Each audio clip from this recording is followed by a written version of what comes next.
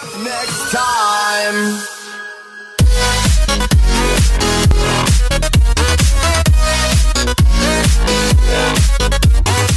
Yo, what is up YouTube? Today this is going to be a little bit of a different video. I'm going to be showing you guys this really cool website that I found where you can get some really hot games for super cheap.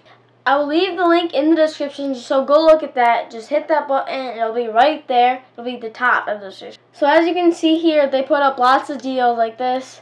Time left 17 hours left, some great deals.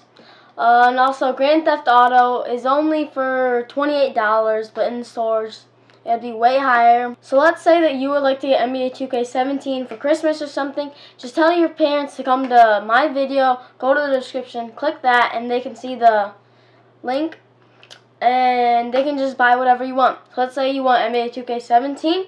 We can search that right now and see how much it goes for.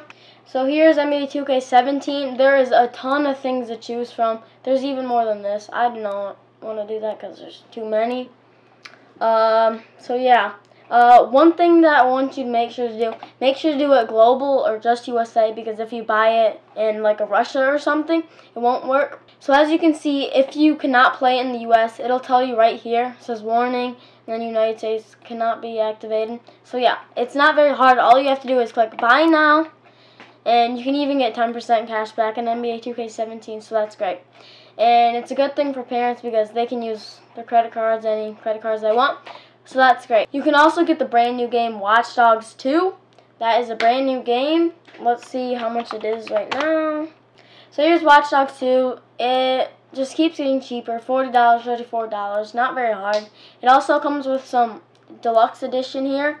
So you can get many other things that come with it to buy. So yeah, and obviously it is not that hard. So yeah, if you guys like this video, don't forget to like, subscribe, comment, and also share. And remember, I will leave the link in the description below, so go click that. And make sure to tell your parents about it for Christmas and stuff. So I'll see you later. See ya.